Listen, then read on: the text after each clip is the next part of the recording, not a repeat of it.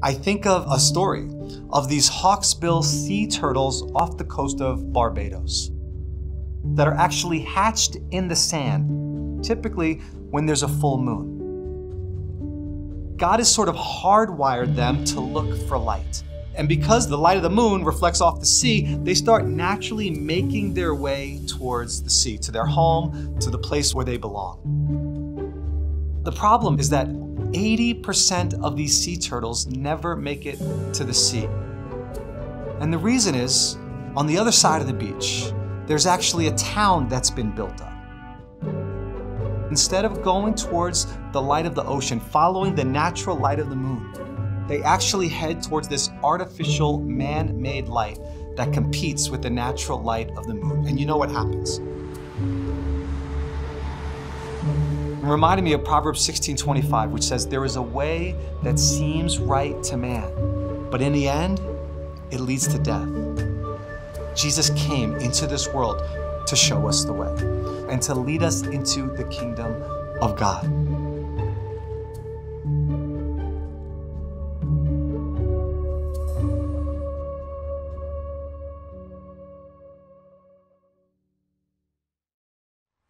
Hello, Shelter Rock Church. Pastor Steve here. And we have this little dwelling that we keep in our closet in Syosset. It has beams like this. In fact, these are two of the beams from it. And it makes a little shelter. Now, we often use it at Christmas time because it looks like a nativity, someplace you could have Mary and Joseph and the baby. I was looking at how complex it would be to actually put this thing together, and I can tell you it, it is above my pay grade because I'm not very good at this. But I tell you, it reminds me of something that is very important for this time of year. And those of you from a Jewish tradition will understand this immediately. Those from a Christian perspective, probably not so much. But Sunday, October 9, this Sunday, is the beginning of Sukkot. Now, what is Sukkot? It literally means the Feast of Booths or sometimes called the Feast of Tabernacles. It lasts for seven days. And if you drive around different parts of Brooklyn, different parts of Great Neck, you will see all around these little huts in the back of people's houses, on the side of their house, on the roof of their house, all different places because it is something to commemorate when the people of Israel had to live in booths to commemorate their time in the wilderness. And it's so appropriate that today's message corresponds with that Feast of Tabernacles, Feast of Booths, or Sukkot. And it's appropriate for a number of reasons. The reason why God ordained this, recorded in Leviticus chapter 23, is that He wanted the people to remember for all time that there was a time when they lived in the wilderness and they lived in portable shelters. And so, up to this day, those who are practicing Jewish community, particularly in the more Orthodox tradition, they will minimally eat their meals in their booth in their backyard, or they'll even sleep there. And that was the idea, just to have a time in their lives to say, hey, our people had to survive 40 years in the wilderness, and we lived in huts like this. What we're wanting to do right now is to continue our journey, the way of the kingdom. And today we're going to continue it by looking at the way of encounter, specifically encountering God's Word. Now, as Christians, we probably have an understanding that the Bible is part of our journey of being a Christian. Reading the Bible, having sermons preached from the Bible, having the Bible taught to our children. But I'm not sure all of us encounter the Bible in all of its richness and wonder that could really be transformational in your life. If you and I are going to follow the way of the kingdom, what needs to be a priority in our life is having an encounter with the Word of God, what we call the Bible. Now, just recognizing that all of us need to prepare our hearts and to get ready to hear from the Lord, would you bow your heads with me as we pray and invite the Holy Spirit to speak to us? Father, it is our great privilege once again to spend a few minutes just loving you by the study of your word. Father, we have so many things that distract us in our lives. But for the next few minutes, would you help us by your Holy Spirit to receive everything we need? And if anything I say, Lord, is not helpful or doesn't contribute to this goal, I pray it would fall away and that the end result is that we would be a people discovering to love, in particular, your Son Jesus even more because it is His word, your word, that tells us all about Him. We pray this in Jesus' name. Amen. Hey, if you have a Bible with you, would you open it now to the Gospel of Matthew? It's the first book in the New Testament. Gospel of Matthew. We're going to look at chapter 4, and we're going to read the first few verses of that Gospel. So, again, Matthew chapter 4, and we're going to start in verse 1 and take it to verse 4. Here's what we read Then Jesus was led by the Spirit into the wilderness to be tempted by the devil. After fasting for 40 days and 40 nights, he was hungry. The tempter came to him and said, If you are the Son of God, tell these stones to become bread. Jesus answered, It is written, Man shall not live on bread alone, but on every word that comes from the mouth of God. Great passage, and this is what's going to carry us on our journey. And here's what I want us to do I want to look at having an encounter with biblical history, having an encounter with the power of God, and having an encounter with Jesus. Now, with that in mind, we have to give a little background of our passage. Our passage is one in which Jesus is in the wilderness and he's going to be tempted by the devil. Now, right before this, Jesus is baptized. The, all the presence of the Trinity is there. The Son is being baptized. The Spirit descends on him in the form of a dove, and the voice of God is heard This is my Son. Now, Jesus immediately feels compelled to go into a wilderness area He's there for 40 days, 40 nights. He is fasting. He is not eaten. He's hungry. And it is in that place of weakness. He is fully human. He is not using all his divine attributes. And so he is in a place, we could say, of weakness. But it is in that time, in that weakness, that Satan comes, the devil comes, to tempt him. And the first temptation is relating to food, sustenance. To which Jesus responds, saying, Man does not live by bread alone, but by every word that comes from the mouth of God. Now, the first point that I want to unfold as we look at this passage is this we need an encounter with biblical history. You and I, we need an encounter with biblical history. You know, on a given Sunday, many of us parents take our kids to church and they go to a Sunday school class. And then on the car drive home, many of us as parents will ask our children, What did you learn today? And what we often hear are the various stories. Oh, I, I, learned about Jonah. I learned about Shadrach, Meshach, and Abednego in the fiery furnace. I learned about King David taking on Goliath. All these wonderful stories.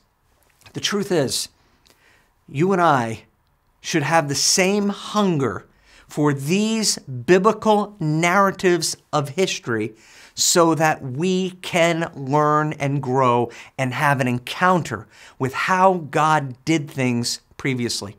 So when we look at this passage, Matthew chapter 4, verse 1 to 4, and we hear this quote of Jesus, you know what it turns out? He is quoting from Deuteronomy chapter 8, verse 3. In other words, this phrase that Jesus says, Man does not live by bread alone, but by every word that, that emanates from the mouth of God, comes from the Torah. And what we need to do is to look back to get a little more context of what Jesus is doing in this passage. And so, if you want to look in your own Bible, feel free. The verses are again Deuteronomy chapter 8 and the first three verses. Here's what we read Be careful to follow every command I am giving you today. so that it, you may live and increase and may enter and possess the land the Lord promised on oath to your ancestors. Remember how the Lord your God led you all the way in the wilderness these 40 years to humble and to test you in order for you to know what was in your heart, whether or not you would keep his commands. He humbled you, get this, causing you to hunger, and then feeding you with manna, which neither you nor your ancestors had known, to teach you that man does not live on bread alone, but on every word that comes from the mouth of the Lord. Now, to appreciate the context of what is taking place here, this is Moses giving a sermon to the people before they enter the promised land. And chapter 8 of Deuteronomy is very important in that sermon. Because here's what Moses knows he's not going into the promised land, but there are certain truths that they must remember. He realizes when they go to the promised land and fulfill the scriptures, they're going to be successful. They're going to plant crops, they're going to grow. They're going to raise animals, they're going to reproduce, and they're going to end up having lovely homes and beautiful families. And eventually, people might say, I did this. I brought this wealth on myself. But here is where Moses says, Remember the Lord. Remember the things you learned in the wilderness. Now, it is at this context that Moses says that God brought them in the wilderness, causing them to hunger, so that he could feed them with manna and that the people would realize man does not live by bread alone, but every word that comes from the mouth of the Lord. This is a biblical narrative that Jesus uses to shut down Satan. See, one of the most effective things that Satan does for you and to me is to make us feel that we are self sufficient, that we don't need anything really from God. I have my bank account, I have a pretty good job, I'm good, I'm squared away. But Jesus says, as he's hungry, 40 days, nights and days, no eating. Do you get the parallelism? 40 years in the wilderness, Jesus 40 days in the wilderness. But when Satan comes, he actually quotes this lesson. Paul says these words in 1 Corinthians chapter 10. He says, These Old Testament passages were written for us as examples so that we can learn. And what we find is that Jesus is somebody who paid attention to these stories and now uses them against the enemy. And what is the primary lesson in this particular story? It is that we are not to rely on ourselves. We are to rely on the Lord. Do we need to eat? Of course we need to eat. Man does not live only by bread. It's not that we don't need bread, we do need bread, but also on every word that comes from the mouth of God. And, and what is that? That's your Bible. And so this book contains so many historical examples of how God interacts with his people. And when you feed on them, just like Jesus did, you have an encounter with God. Regularly, I find myself so blessed because I read the scriptures and I'm investigating them and digging deep. Some of you may know I teach a Bible class at the church. I'm going through the book of Jeremiah. I teach it in Manhasset on Monday nights. I teach it in Syosset on Wednesday nights. And we go verse by verse exposition. It's even on uh, the internet. By all means, tune in if you like. But one of the things that I learn from studying the book of Jeremiah is that I can talk to God honestly. I, I learned that from historical narrative found in the book of Jeremiah. Do you realize that you can tell God all the things that are going on in your heart and mind? You can. The truth is, you know He knows them already. So why not just be honest? And so I was reading through Jeremiah chapter 20, starting at verse 7, and I paraphrase this. O Lord, Jeremiah says, you deceived me and I was deceived. All day long, all you give me to preach is doom and destruction, and I've had it up to here. But Jeremiah goes on to say, But if I say I will not mention you, or speak any more in your name, your word is in my heart like a fire, a fire shut up on my bones. I am weary of holding it in. Indeed, I cannot. I look at that passage and I see, wow, that's powerful. I can tell God what's really on my heart. Sometimes I feel alone. And I wonder, does God even see me? And I, and I read Psalm 139. David writes, Where can I go from your presence? Where can I hide from your spirit? If I go to the heavens, you are there. If I make my bed in the depths, you are there. He, he goes on to say, Every day of my life is written in your book before any of them have come to be. And when I wake up, you're still there. I read these words from David as he expresses his own emotion. And you know what I know? God is with me. He knows me. He knows what I'm going through. And how do I know this? I'm becoming familiar with biblical history. You see exactly what your kids are doing, you need also. You need to know these stories so that you can grow and, and become stronger in your own faith. You know what's bugging me these days? I'll tell you, and I'm embarrassed by it. It's the Wall Street market. I now, because of my mother's resources, I look at the market and I know where our investments are. And, and just the other day, uh, last week, I, I look at the market and, I, and I'm in shock. I, I said to my wife, Michelle, we've lost $7,000 in one day.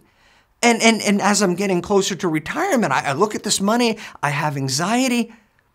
And then I remember these words of Jesus Man does not live by bread alone, but every word that comes from the mouth of God. And then I look where that's found, Deuteronomy 8, and I find out that God sometimes places us in situations where we actually are hungry so that we depend on Him and not on our bank accounts and not on literal food. This I gain from biblical history. So, first thing I want to encounter with is the biblical historical story of Scripture. The second thing is I want an encounter with the power of God. I mean, doesn't that sound great?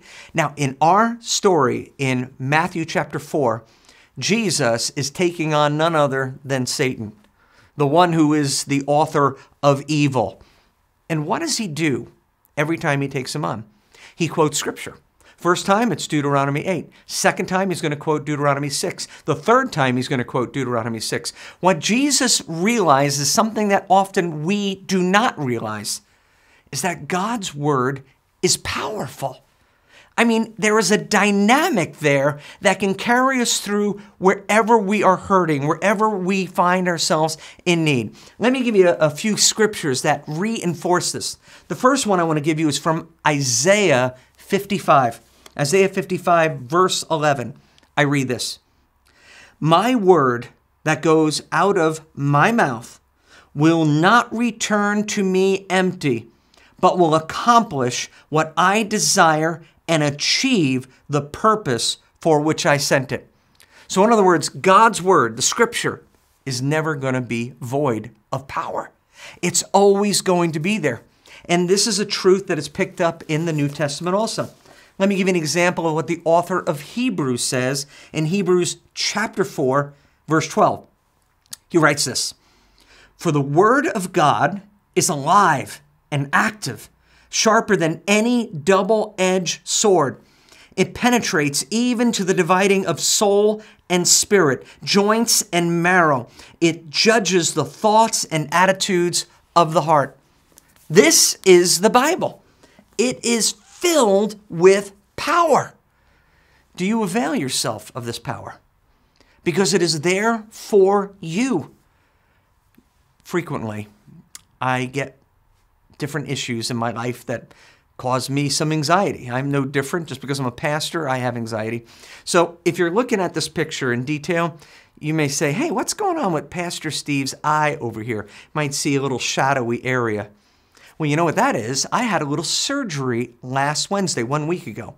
it was a, a, bump there, probably filled with some fatty tissue or something, but it was right near my eye and it was causing some issues. So I, I go into the dermatologist to have it removed. Not about you, when somebody is using very sharp implements two centimeters away from one of my eyeballs, I don't find it encouraging, hopeful, upbeat. I was a little anxious. And as I go into the office, you know what I'm quoting to myself? Isaiah 26, verse 3. I will keep him in perfect peace, whose mind is steadfast on me. You know what that is for me? It's the power of God. It's enabling me to do what I don't necessarily feel I have the strength to do. You know, I've been preaching quite some time now. In fact, I just found the first sermon I ever delivered at age 23. I'm actually changing it from a cassette tape to a digital format even now. And it was fun to listen to it. But to this day, when I'm going to get up to preach, I still have anxiety because I don't want to mess it up. I'm having the privilege to speak representing the Lord, and I want to honor him well. But you know what a verse that the Lord has given me this summer? And I say it every time I get up to preach for this summer. In other words, it's kind of a fresh verse for me. It's from Micah chapter 3, verse 8. Here's what the prophet says. Now, he was nervous himself. And this is what he says But as for me, I am filled with power, with the Spirit of the Lord, with justice, and with might. I love that verse. In fact, when I was at VBS and teaching the kids, I had all the students at VBS memorize this verse. But as for me, I am filled with power, with the Spirit of the Lord, with justice, and with might. And you know what? When I have this verse inside me, I'm ready to get on that stage. I'm ready to preach because I know it's not about me. It is about the power that God has given me, the Spirit of God that He's given me, and what I'm finding that this book is endued with power and I want to use it. The apostle Paul writes in 1 Corinthians chapter 1, "We preach Christ crucified, to the Jew a stumbling block, to the Greek foolishness, but to we who are being saved, it is the very power of God. The gospel, which comes from this book, is endued with power from God. So, here's an assignment for you. You need to learn the scripture. Oh, Pastor Steve, you memorize scripture. You're a pastor. That's what they pay you to do. Well, you know, all of us can memorize the scripture. You know, in the Jewish tradition, in early years, it was incumbent upon every male child to memorize, get this, memorize the first five books of the Bible by age 13.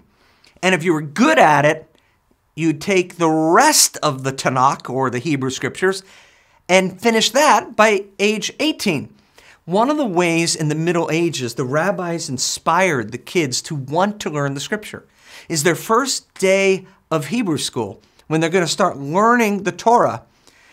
The rabbi would take a little bit of honey and put it on the scroll and have the child lick it off so that the child would have an impression in their mind of the sweetness of the Word of God. What I want to challenge you is start memorizing some scriptures.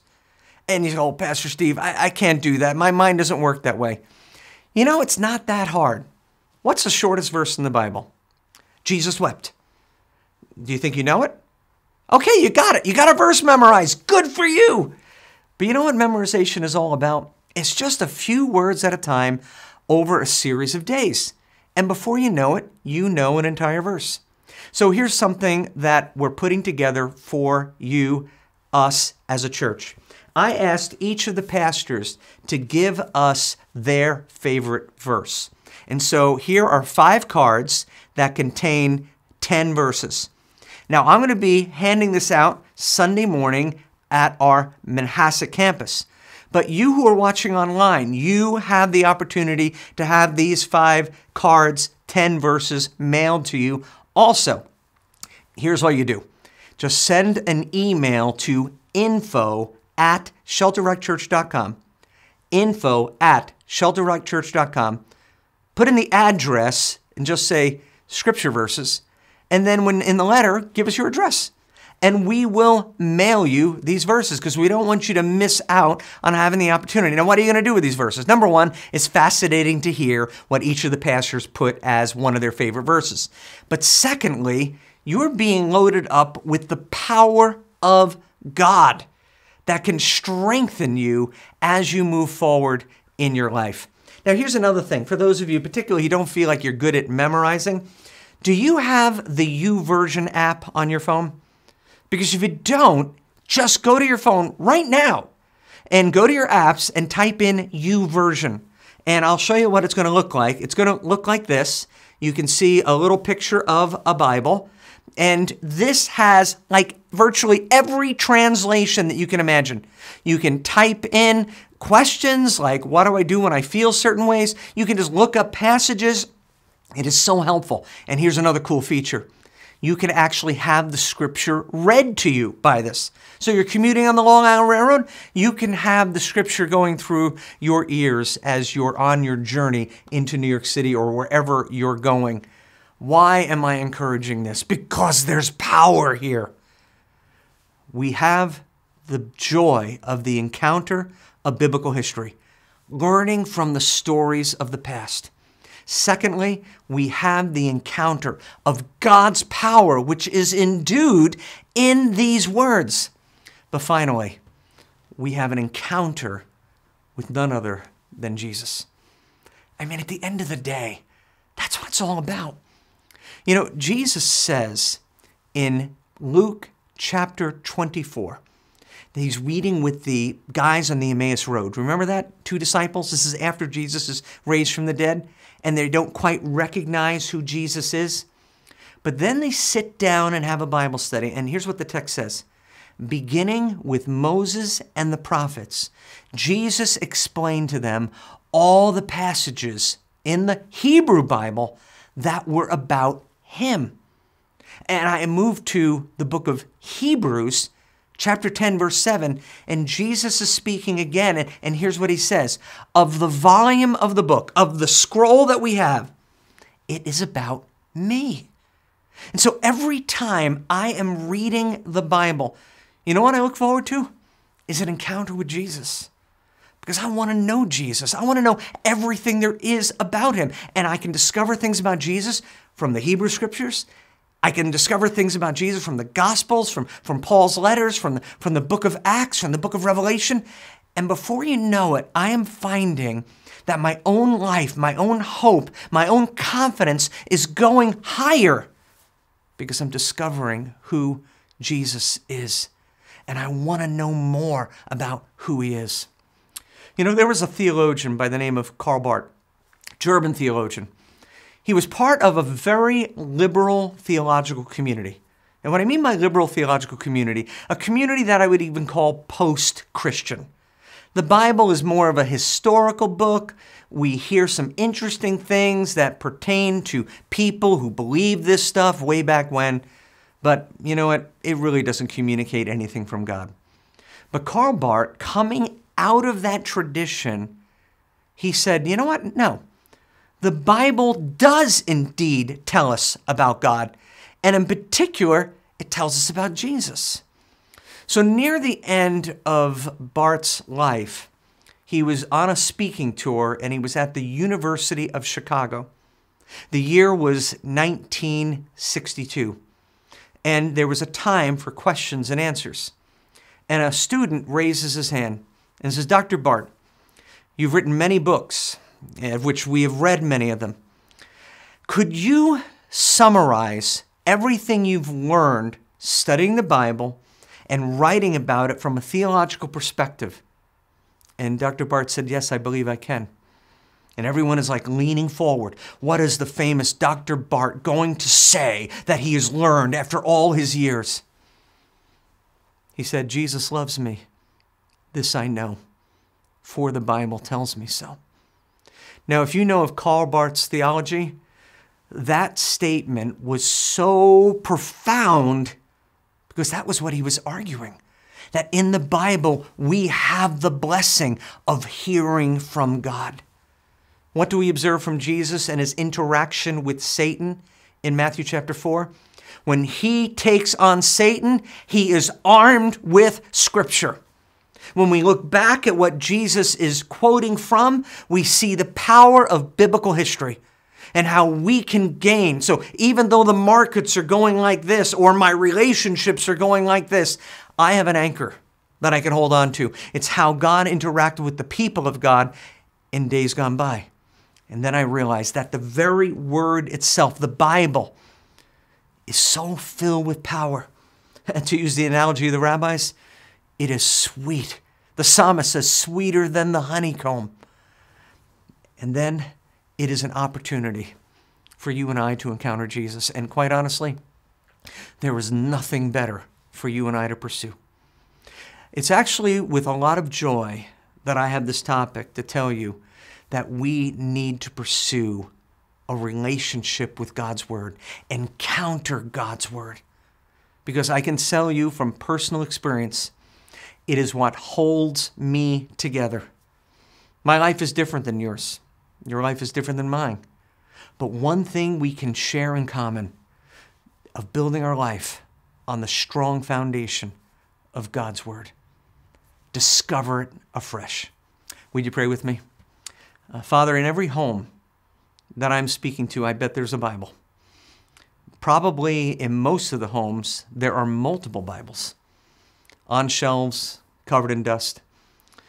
And we can say, oh, yeah, I have the Bible on my phone, but do we use it? Do we read it? Father, what we have in our homes, indeed in our hands, is the very power of God. It is not the book, it is that the book points us to you. And your words are filled with power. These stories are filled with lessons, examples that we can learn from.